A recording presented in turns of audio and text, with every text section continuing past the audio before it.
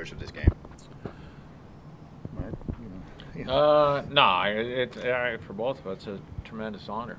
So, uh, you know, I think we're uh, we're proud to be Americans, and uh, um, you know, you- you're proud to uh, uh, to represent your country. And this is when you're called upon, you come and do what you're supposed to do. But I think, and, and part of it too is you know, we, we we love it. We enjoy the game. We still have a passion for it. Um, and you come here, and when you see the the enthusiasm that all these young kids have, I mean, it's like I, at, at the morning skate, I said, "Hey, this this was my favorite time of the game," and I said, "I love the morning skate," and I said "Let's go out and just have a good time today." So.